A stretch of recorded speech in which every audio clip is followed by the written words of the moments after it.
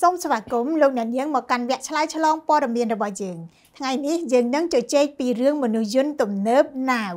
ដែលត្រូវបានបង្កើតឡើងដោយក្រុមហ៊ុនបារាំង ពិសេសជាងមនុស្សយន្តដតីណាវមានភាពល្បីល្បាញដោយសារតែភាពបត់បែននិងសមត្ថភាពទំនាក់ទំនងជាមួយនឹងមនុស្សដែលធ្វើឲ្យវាคล้ายទៅជាជំរើសដ៏ពេញនិយមនៅក្នុងវិស័យអប់រំស្រាវជ្រាវនិងឧស្សាហកម្មផ្សេងៗនៅក្នុងវគ្គនេះយើងនឹងពិភាក្សាអំពីដំណើរការរបស់មនុស្សយន្តនៅក្នុងសេណារីយ៉ូនៃពិភពពិត យើងមានសុកនេះជាអ្នកឆ្លើយឆ្លងព័ត៌មានរបស់អប្សរា Tonight និងជម្រាបជូនលោកអ្នកនាងលំអិតសុកណេតតើមនុស្សយន្តណាវមានលក្ខណៈពិសេសអ្វីខ្លះដែលធ្វើឲ្យវាខុសពីមនុស្សយន្តផ្សេងផ្សេងទៀតនៅក្នុងទីផ្សារបាទសុធាបើផ្អែកទៅតាមប្រភពពីគេហទំព័រ us.sourcebank robotic បានឲ្យដឹងថាមនុស្សយន្តណាវមានលក្ខណៈពិសេសពិសេសចំនួន4បើធៀបទៅនឹងមនុស្សផ្សេងទៀតទី1មនុស្សយន្តណាវ អាចនិយាយភាសារបស់មនុស្សបានយ៉ាងស្ទាត់ជំនាញជាង20ភាសា ដោយវាអាចប្រស្រ័យតាក់ទងបានយ៉ាងស្ទាត់ជំនាញនិងងាយស្រួលជាមួយនឹងមនុស្សចម្រុះជាតិសាសន៍ទោះបីជាមានវប្បធម៌ផ្សេងផ្សេងគ្នាក៏ដោយទី2មនុស្សយន្តណាវអាចមានអារម្មណ៍ដឹងពីបរិស្ថាននៅជុំវិញខ្លួនវា ពីព្រោះវាត្រូវបានបំពាក់ដោយឧបករណ៍ចាប់សញ្ញា tactile ក្នុងខួរក្បាលដៃនិងជើង ដែលអាចជួយឲ្យវានឹងដឹងនៅអ្វីៗគ្រប់យ៉ាងរាប់ចាប់ពីការស្ដាប់មើលឃើញ និងចំណាំមនុស្សជាដើមទី3មនុស្សយន្តណាវត្រូវបានបង្កើតឡើងដើម្បីផ្លាស់ទីតាមធម្មជាតិនិងទៅគ្រប់ទីកន្លែង ដោយវាអាចដឹងពីឧបសគ្គជៀសវាងពីការធ្លាក់និងក្រោកឈរឡើងវិញភ្លាមៗមនុស្សយន្តនេះដែរមានប្រព័ន្ធទប់លំនឹងកុំឲ្យដួល ហើយបើដួលវាអាចងើបឈរដោយខ្លួនឯងបាន តើកត្តាអ្វីសុកណេតដែលជំរុញឲ្យមានការបង្កើតមនុស្សយន្តប្រភេទនេះបាទបើយោងទៅតាមគេហទំព័រ RoboGuys បានឲ្យដឹងថាកត្តាជំរុញឲ្យបង្កើតមនុស្សយន្តណាវគឺស្ថិតនៅក្នុងគោលបំណងជួយសម្រួលការងារផ្ដល់ភាពងាយស្រួល និងប្រស្រ័យតាក់ទងជាមួយនឹងមនុស្សដោយសារតែមនុស្សយន្តនេះបង្កើតឡើងបំពាក់ទៅដោយឧបករណ៍ចាប់សញ្ញានិងតួអក្សរ ដែលអាចឲ្យវាដើររាំនិយាយនិងស្គាល់មុខឬវត្ថុផ្សេងៗដែលនៅក្បែរវាបានគោលដៅចម្បងនៅពីក្រោយការអភិវឌ្ឍមនុស្សយន្តនេះគឺសម្រាប់ជួយទៅដល់កិច្ចការស្រាវជ្រាវការអប់រំ និងការថែទាំសុខភាពទូទាំងពិភពលោកតើអ្នកណាបង្កើតមនុស្សយន្តនេះសុកនេតហើយគេប្រើបច្ចេកវិទ្យាអ្វីខ្លះបើយោងទៅតាមគេហទំព័រ Robot Guide ដដែលបានឲ្យដឹងថាសហគ្រិនជនជាតិបារាំងលោក Bruno Maisonier ស្ថាបនិកក្រុមហ៊ុន Aldebaran Robotics ដែលជាអ្នកបង្កើតមនុស្សយន្ត Now ដំបូងនៅក្នុងឆ្នាំ2005คล้ายជាក្រុមហ៊ុនឈានមុខគេមួយរបស់ពិភពលោក ក្នុងការធ្វើពាណិជ្ជកម្មមនុស្សយន្តផ្អែកតាមប្រភពពីគេហទំព័រ Drex បានដឹងថាក្រុមហ៊ុន Aldebaran Robotics បង្កើតឡើងក្រោមទុនវិនិយោគប្រហែល13កណ្ដាសញ្ញា5លានដុល្លារក្រោយមកក្រុមហ៊ុន Aldebaran Robotics ត្រូវបានក្រុមហ៊ុន SourceBank Robotics Holding ទិញយកនៅក្នុងតម្លៃ100លានដុល្លារកាលពីថ្ងៃទី12ខែមីនា ឆ្នាំ2012មនុស្សយន្តណាវត្រូវបានគេផលិតនិងចែកចាយយកទៅប្រើប្រាស់ជាង15000គ្រឿងហើយដោយប្រើប្រាស់ប្រព័ន្ធបច្ចេកវិទ្យា Linux OS និង Choreograph Suite មនុស្សយន្តណាវដំណើរការដោយប្រព័ន្ធប្រតិបត្តិការ Now QI OS ជាកម្មវិធីដែលអនុញ្ញាតឲ្យម្ចាស់នៅជំរើសជាច្រើនសម្រាប់ការកំណត់មុខងាររបស់វា តាមចំណង់ចំណូលចិត្តសុកណេតបច្ចុប្បន្នមនុស្សយន្តនេះត្រូវបានប្រើប្រាស់នៅប្រទេសណាខ្លះហើយភាគច្រើនគេយកទៅប្រើអ្វីធ្វើអ្វី ជាពិសេសគឺតើមនុស្សយន្តណានេះមានតម្លៃប៉ុន្មាន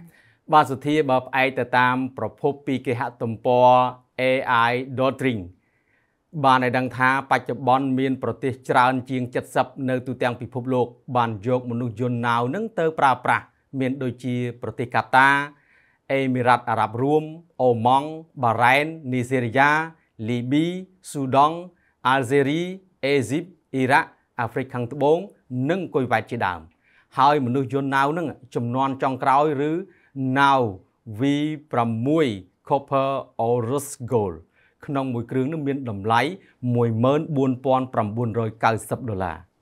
ចាប់តាំងពីបានបង្កើតមនុស្សយន្តនេះដំបូងមកគេបានកែលម្អអ្វីខ្លះទៅលើមនុស្សយន្តណាវហើយថាតើការកែលម្អទាំងនេះបានពង្រឹងមុខងាររបស់មនុស្សយន្តនេះយ៉ាងដូចម្តេចសុកនិតបើយោងទៅតាមគេហទំព័រ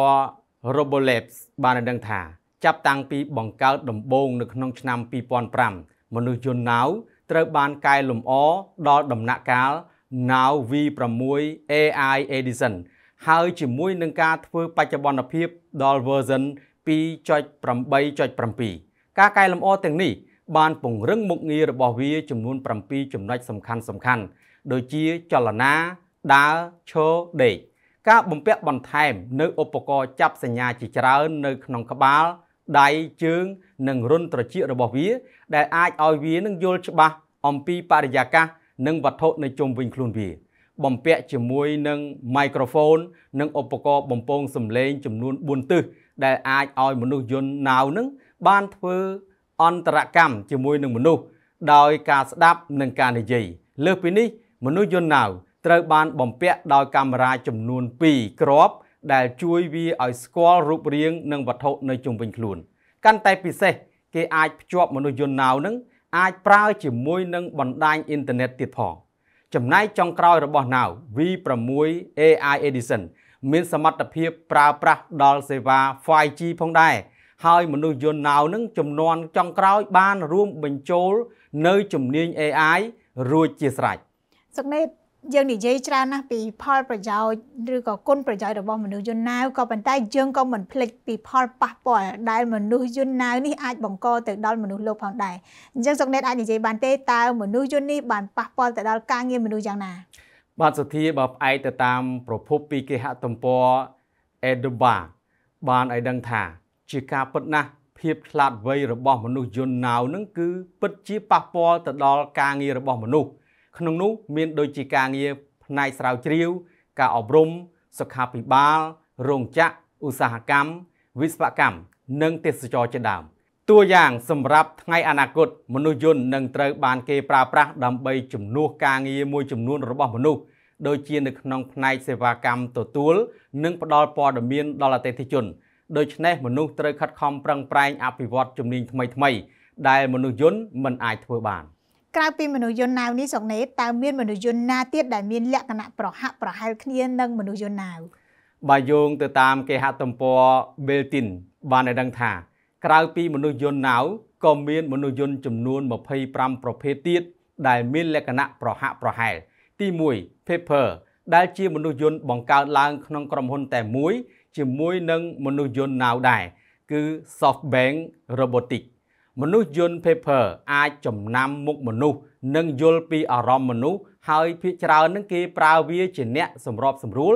និងទទួលភ្ញៀវនៅក្នុងសន្តាគារនិងមន្ទីរពេទ្យទី2 Promobot គឺជាមនុស្សយន្តមានសមត្ថភាពបម្រើការងារជាឯកអគ្គរដ្ឋទូតម៉ាកយីហោមគ្គុទេសទេសចរនិងជំនួយការផ្នែកវិទ្យាសាស្ត្រជាដើមវាបំពាក់ដោយមុខងារសម្គាល់មុខនិងមុខងារឆ្លើយឆ្លងជាមួយនឹងមនុស្សជាពិសេសវាក៏អាចប្រើដើម្បីតាមដានសុខភាពដូចជាពិនិត្យជាតិស្ករក្នុងឈាម និងកម្រិតអុកស៊ីសែននៅក្នុងឈាម ទី3 Robonaut 2គឺជាមនុស្សយន្តដែលធ្វើការជាមួយនឹងមនុស្សនៅទីអវកាស ដែលបង្កើតឡើងដោយអង្គការ NASA និងក្រុមហ៊ុនផលិតឡានអាមេរិក General Motors ជាងមួយទសវត្សរ៍មុន Robonaut 2បានក្លាយជាមនុស្សយន្តដំបូងគេដែលធ្វើការជាជំនួយការនៅស្ថានីយអវកាសអន្តរជាតិ ISS រហូតដល់ឆ្នាំ2018មុនពេលវាត្រឡប់មកដល់ផែនដីវិញដើម្បីជួសជុលអរគុណសុកណេតខ្ញុំសូមបិទបញ្ចប់វគ្គសន្ទនារបស់យើងតែពេលនេះហើយខ្ញុំជួបសុកណេតនៅឱកាសក្រោយបាទសូមអរគុណលោកអ្នកនាងជាទីគោរពកម្មវិធីអប្សរាធន័យបានឈានមកដល់ទីបញ្ចប់នៅពេលនេះខ្ញុំរស់សុធាអ្នកដឹកនាំកម្មវិធីនិងក្រុមការងារសូមអរគុណនិងសូមគោរពលា